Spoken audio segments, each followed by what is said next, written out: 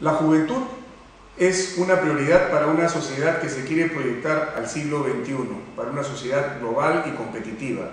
En ese sentido, nosotros vamos a implementar el Sistema Metropolitano de Juventudes, donde el joven no sea una figura decorativa, sino que tenga real acceso a la conducción y al gobierno de la ciudad. En las políticas no solamente nos vamos a dedicar a construir parques recreativos, a construir palacios de la juventud o a realizar actividades deportivas, folclóricas, que muchas eh, municipalidades consideran como un fin en sí mismo.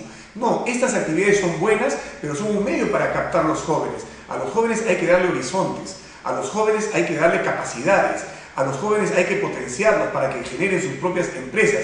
En ese sentido, vamos a elaborar importantes y masivos planes de emprendimiento para jóvenes con pequeños capitales que tenemos que hacer llegar a sus bolsillos para que puedan explotar ese talento, esa iniciativa, esas capacidades y esa energía que tienen los jóvenes. Pero otro aspecto que nosotros queremos abordar y que no está en la mesa de debates es el tema de la educación.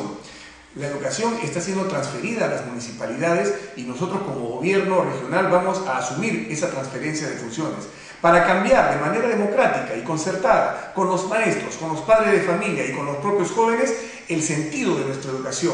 Queremos hacer una educación en primer lugar que forme a nuestros jóvenes como ciudadanos participativos, democráticos, con principios y con valores, y en segundo lugar, que les dé capacidades para que el joven, una vez que abandona las aulas escolares, no sea únicamente un postulante a universidades, que es lo único que están produciendo los colegios, que tengan capacidades de emprendimiento para insertarse al mercado laboral, para generar sus propias fuentes de empleo, jóvenes dinámicos y capaces de enfrentar los retos de la vida. Eso queremos hacer por nuestra juventud.